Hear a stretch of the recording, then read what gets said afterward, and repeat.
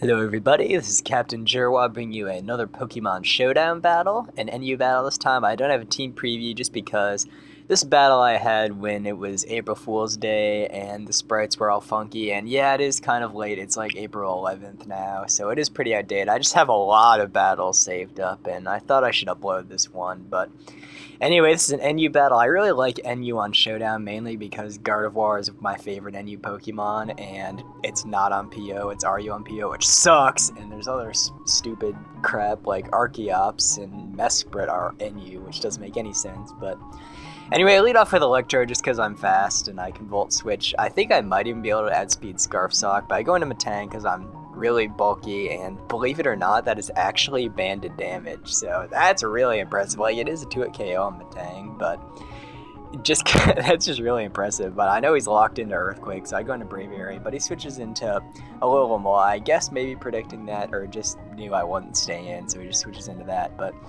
I don't want to stay in there. I am banded. I could potentially do a KO him, but I don't want to like take all the recoil and he still can just switch out and get the regenerator. So I go into Electro, no I can just Volt Switch out on him and thinking that'll scare him out. So I want to get my rocks up though, since I know he has a Lickilicky. I probably could have just Volt Switch there, but I didn't want to take the Life Orb. Um, so I played kind of risky. But I need to get my rocks up because he has that Charizard and it is pretty big threat. I do have War Wartortle, but uh, still, if that dies, then I I really shit on by Charizard, but I what I really should have done there is as he tried to pass a wish, I should have tried to go for Meteor Mash and taken the Sawk out because if I could do that, then I'd have been in a really good situation because since it is banded, I can't really switch anything into it. Gardevoir would still take a shit ton of damage from that, and I can outspeed him with stuff, but yeah, I don't have anything to switch in. But now that I know he's locked into close combat and that he's banded, I can send in my Gardevoir, but I know he's going to send in Lickilicky.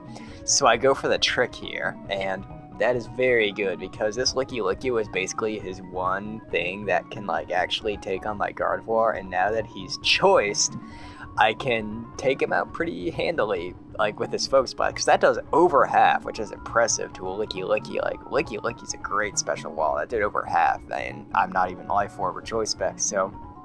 He locks himself into Heal Bell and I just go for Psychic there. Thinking he would switch, but he goes into Beheeyem but even though he resisted, I do have the Shadow Ball, and I guess he thought I would have Thunderbolt and not Shadow Ball, so he goes for Calm Mind, thinking he could wall me, but that is not the case, because I have the freaking Gardevoir with the freaking Shadow Ball. I have great coverage. I can basically take on your entire team, so...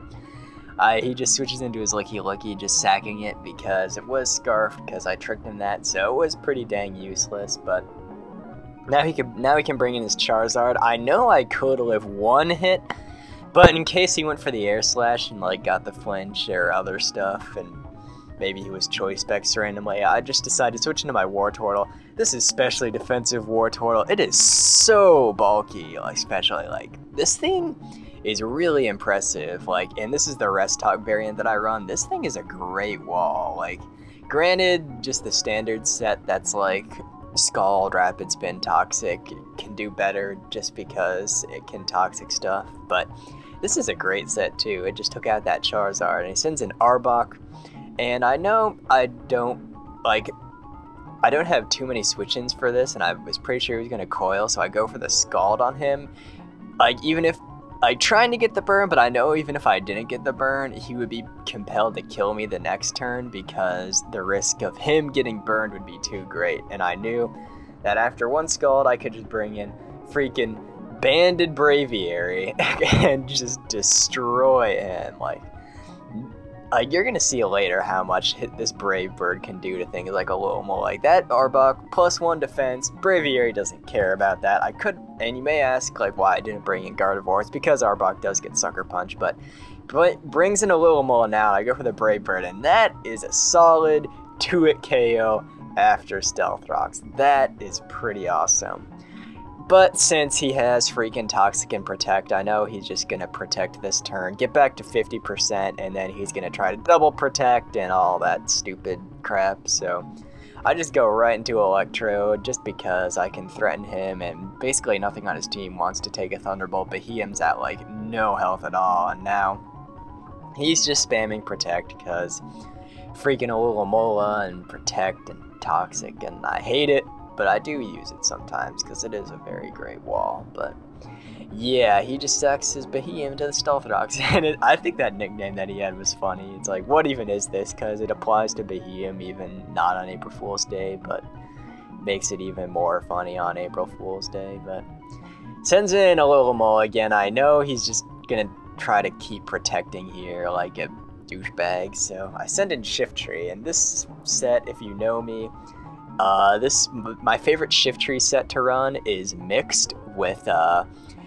three special moves and Sucker Punch because Shiftry has great coverage, and he actually is able to pass Wish into Sawk there. And I thought Giga Drain would be able to take him out, but apparently Sawk has some pretty decent bulk. But uh, when it's banded, it's really slow, so I can still outspeed it with a Shiftry. So there's that, and uh, he takes me out. What I probably should have done there was Sag Braviary, but it doesn't really matter. Like because now I can just bring in Electrode or Gardevoir and basically just take him out. And yeah, his Alomomola is not going to be able to stand up to an Electrode, a Gardevoir, and a Banded Braviary. So that's going to just be the match, and he's going to try to stall some more, I think. But yeah, that's the match. So hope you enjoyed seeing these April Fools Day thing. It, the, the April Fool's Day sprites a little later. It is pretty outdated, but yeah, that's that. And I hope you like this team. I, I might play some more NU on Showdown just because I like NU on Showdown. I might play some RU too because